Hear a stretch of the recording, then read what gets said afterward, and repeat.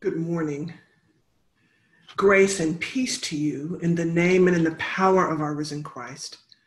I greet you from the United States, specifically from the city of Raleigh in the state of North Carolina. I'm grateful for the opportunity to share with you again and to recapture the wonderful memories of having visited Port Elizabeth last year. I'm thankful to Reverend Senzo for the invitation. Today, I would like to draw our attention to two passages of scripture.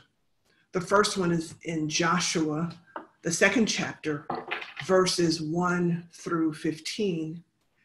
And the second is Hebrews, chapter 11, verses 1 and 2, and verse 6.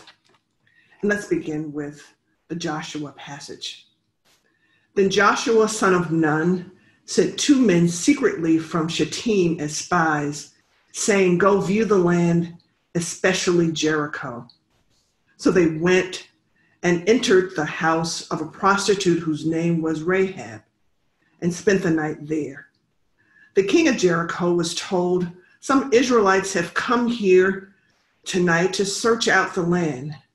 Then the king of Jericho sent orders to Rahab Bring out the men who have come to you, who entered your house for they have come only to search out the whole land. But the woman took the two men and hid them. Then she said, True, the men came to me, but I did not know where they came from. And when it was time to close the gate at dark, the men went out. Where they went, I do not know. Pursue them quickly, for you can overtake them.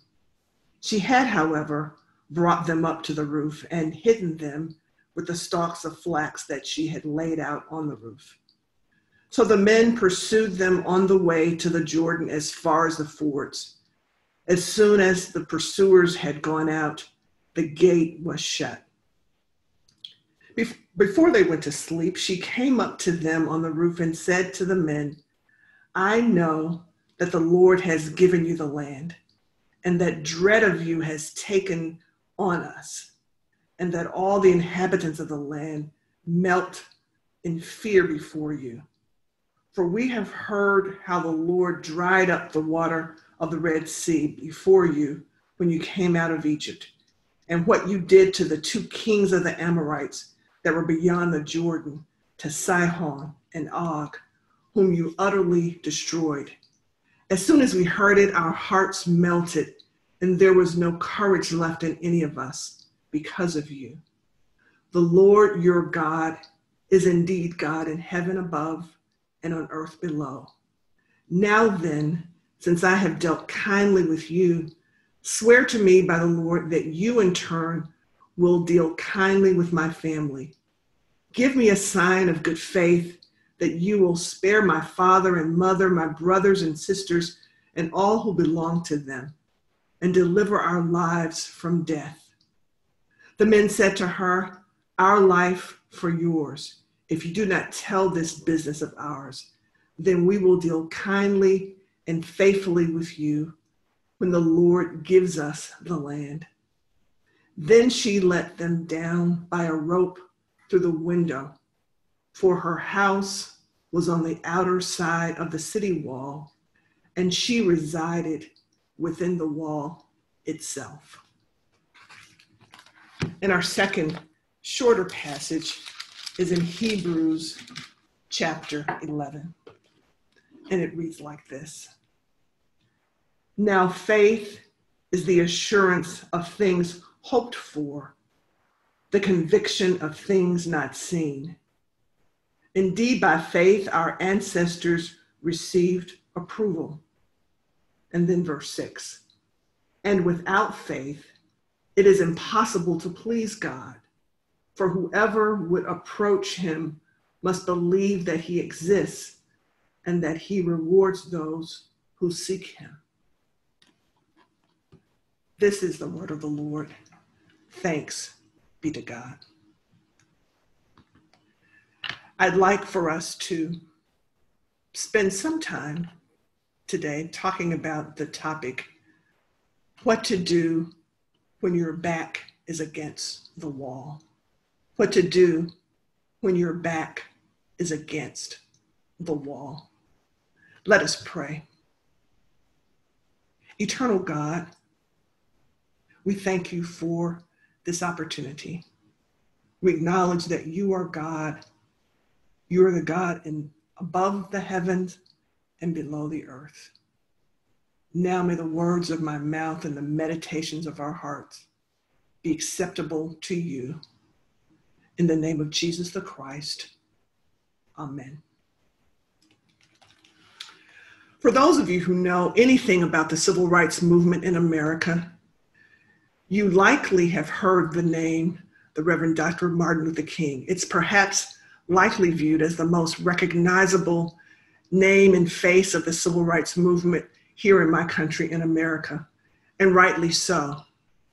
We don't hear as much, however, about many of the unsung lesser known persons of African descent who have made influential and key contributions to the cause of equality in America. One of those not as known persons who I believe deserves attention is a man by the name of Dr. Howard Thurman. Dr. Howard Thurman.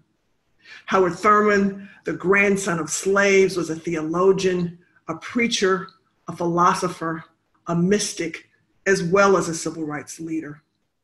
In the 1940s, he was the first African American pastor to travel to India and meet Mahatma Gandhi. And he was one of the persons who inspired and influenced Dr. Martin Luther King to merge Gandhi's philosophy of nonviolent resistance with the civil rights movement. In fact, recently it seems that more of Thurman's work is reemerging because of the relevance and timeliness of his views. The best example of the timelessness of Thurman's views is captured in his best known work entitled Jesus and the Disinherited, which was published in 1949. In this book, Thurman wrestled with the issues Black and poor people in America struggled, particularly as they dealt with what he called the wall of separation, the wall of separation that was related to discrimination and poverty. In the book, he raises this key question quote, What do the teachings of Jesus have to say to those who stand at a moment in human history with their backs against the wall? The poor, the disinherited, the dispossessed, end quote. In fact, many people who have studied Thurman's prolific body of work point out that he never strayed far from his urgent metaphor of the wall. Indeed, in one of his later works, Thurman devotes most of the book to the issue of what he sees as metaphorical walls, walls that separate black and white, rich and poor, those who are alienated and abandoned, especially from and in the church. There are walls that separate all of us in some way or another. In fact, Thurman believes people who have become so conditioned to living behind the walls and those whose emotional security is dependent upon the stability of the walls are apt to be seized by a sense of panic if the walls are removed. Likewise, Thurman also believes that the walls that divide, no matter the situation, represent a spiritual condition. Walls are getting a lot of attention these days, physical walls as well as metaphorical walls. You probably have likely heard here in my country, there has been a lot of talk about walls, especially from the current president. His is a focus on building a wall as a way to provide a physical separation between countries and people who are other than American. Walls could be seen in so many places. Indeed, when I visited South Africa last year, I noticed the incredible number of walls and windows and door bars and gates. Many houses, many churches, and businesses all have walls around them. I notice walls everywhere, no matter the area or the neighborhood. And it's not that I don't understand and appreciate the need for security that walls and gates provide. I do, even in an American context, as I grew up with burglar bars and gates in my own home that I grew up in. But I wonder if our reliance on physical walls somehow has affected our reliance on figurative and metaphorical walls and thus affected our spiritual condition. In other words, have we become so accustomed to the security of physical walls that we have less trust and faith in the God who is in charge of all walls, the God who is ultimately the maker of walls. So it is my interest in Howard Thurman's insight on walls, in addition to our seeming current fixation with all sorts of walls, that has made me consider another wall encounter, an encounter that we see in the wonderful story in today's Old Testament text at the wall of Jericho in ancient Canaan. In the text, we encounter a woman who the narrator describes as a prostitute. Some translations describe her as a harlot or a whore. And her house is located on the outer side of the city wall, and we're told that she is living within the wall itself. The woman's name is Rahab, and we can likely make the case that she is a woman who has her back against the wall. Not only the physical wall, but the figurative or metaphorical wall as well.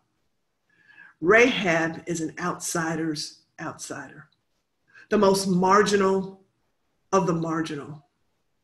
Indeed, there were two different types of prostitutes during Rahab's times those who were part of the temple rituals, and those who, because of poverty, became prostitutes as a means of making money for survival. Scholars believe Rahab is the latter type of prostitute her back is against the wall. And it is likely because of her status as a prostitute that she resides at the city wall. She lived in Jericho. And for those of you who are familiar with the biblical story of Jericho, you remember it is where God caused the walls to ultimately come down. The walls in Jericho were a bit different than just plain old one dimensional walls. As a matter of fact, there were two parallel walls separated by about 10 feet and connected intermittently by internal walls to divide the space into dwellings or storage areas. The storage areas could then be filled with rubble for extra fortification in times of siege. And it seems that Rahab's house was in the part of the wall where there were dwellings, which gave her access to the outside of the city wall. And likely because of her business, her trade, it gave her quick and ready access to customers. She occupied a strategic location in Jericho. Isn't it strange then that God, in preparing the children of Israel to finally enter the promised land, a land they have pursued for so long, that the story of their conquest would include a woman like this? Why is the star of this narrative a poor prostitute and a foreign woman at that? Perhaps the question is similar to the one Thurman asks What does the God of Israel have to do with a disinherited or dispossessed woman? One whose back is literally and figuratively against the wall. Can a woman like this be used by the God of Israel as an instrument for God's purposes? I believe Rahab's story shows us in a fascinating way that God can use those who the culture deems as disinherited, those who society says may be useless, those who believe their lives don't matter anymore, those who believe their voices don't matter anymore, those who might be divided or separated by metaphorical or physical walls. What we see from Rahab's example, I believe, is her courage to forsake her allegiance even to her Canaanite people and cleverly orchestrate a plan of escape for the spies and also negotiate a plan of escape for her and her family. More important, her courage is based on her ability to recognize and acknowledge the God of Israel, the God of the two spies, the Israelite spies who have come to survey the land. In a speech the narrator includes in this passage that is unusually long for a woman in the Hebrew Bible, the Old Testament, Rahab prophetically tells the spies that God will indeed give them the land for which they have come for reconnaissance. And while the text is not clear as to why and how Rahab was moved to cross the theological border. What we do know is that Rahab staked her very life on that day on the God of Israel. Rahab demonstrated in the God of Israel and believed in the God of Israel against the odds. This part of the story ultimately ends with the spies and Joshua keeping their promise to Rahab, and she and her family were saved. Apparently, her part of the Jericho walls remained intact for the rescue. Later in Joshua, if you read further on in chapter six, the narrator tells us that Rahab, the prostitute, with her family and all who belonged to her, Joshua spared. And her family has lived in Israel ever since. So, what are we to make of Rahab's story? I believe that God is telling us admonishing us to consider those whose backs are against the wall, those who may feel as if they are the disinherited among us. Indeed, I suspect that in this period, this pandemic moment, many of us perhaps are feeling in many ways, for a number of reasons, that our backs are against the wall. If you currently have or have had your back against the wall, you felt abandoned or misunderstood, or mischaracterized or disinherited or dispossessed, know that God can still use you. God can use and deliver you in a mighty way. And if we needed more evidence of God's grace to Rahab, her story doesn't end in Jericho. We discover in Matthew's gospel an interesting nugget. Starting at the beginning of chapter one, it says this an account of the genealogy of Jesus. And in verse five, it goes on to say, and Salmon, the father of Boaz by Rahab, and Boaz, the father of Obed by Ruth, and Obed, the father of Jesse, and Jesse, the father of King David. So that means Rahab stands in the lineage of Jesus, the Messiah. That's incredible. And equally incredible as Rahab in the lineage of Jesus is Rahab's legacy of what I call radical faith. In fact, the writer of Hebrews in chapter 11 in our second scripture passage mentions her as one of two women, Sarah being the other, in the list of examples of faith in that chapter called the heroes of faith. We see Rahab mentioned in verse 31, and it says this By faith, the prostitute Rahab, because she welcomed the spies, was not killed with those who were disobedient. And it is clear that Rahab's faith, her faith and belief in the God of Israel, her willingness to risk her life to be saved by the, by the spies, is at the heart of this story. Notwithstanding her situation, notwithstanding her status, notwithstanding her back being against the wall, she declared to the spies that she knew that the Lord God was the only God in heaven above and on the earth below. Rahab demonstrated her confidence that she and her family could be saved by the God she had likely only heard about. Her behavior reflected what the Hebrew writer describes in the first verse of chapter 11 as true faith. Now, faith is confidence in what we hope for and assurance about what we do not see. So Rahab seemed to rest in the confident assurance of what she could not see. She saw through the eyes of faith. Rahab's radical faith story is also captured incredibly in the Epistle of James. Here, the writer of James brings attention to Rahab's active faith. She not only demonstrated a confident faith, she demonstrated by her actions that she would act on what she believed. And she believed that through her actions, her family would be delivered, even as the rest of Jericho would be destroyed. In the second chapter of James, which is the key part, the key section in the book of James, the writer mentions Rahab along with Abraham as examples of Old Testament ancestors with working faith. The writer of James goes further and says, Likewise, was not, was not Rahab the prostitute also justified by works when she welcomed the messengers and sent them out by another road? For just as the body without the spirit is dead, so faith without works is also dead. So then, true faith, even radical faith, is trust in God for what we don't see what we cannot always see. True faith, even radical faith, means an active, working faith, not a dead faith. That is the kind of faith that the Hebrew writer proclaims is pleasing to God. That is the kind of faith each of us must have. I believe Rahab stands as a tribute to the possibilities, the faith possibilities within each of us. It seemingly did not matter to God what she was. Her faith, a faith that ultimately saved her family, launched her to what she could become through God.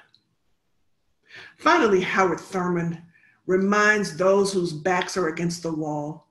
He says that they will come to know this, and I quote, the contradictions of life are not ultimate. The disinherited will know for themselves that there is a spirit at work in life and in the hearts of men and women which is committed to overcoming the world, end quote.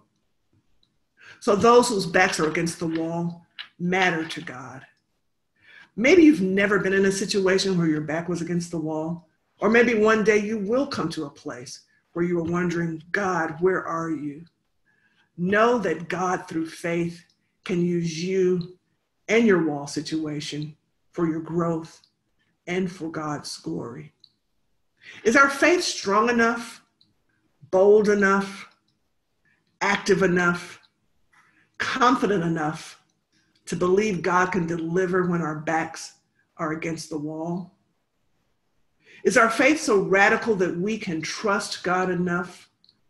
We can believe God enough for our deliverance when our backs are against the wall? Rahab had that kind of faith. May it be so for us as well. Amen.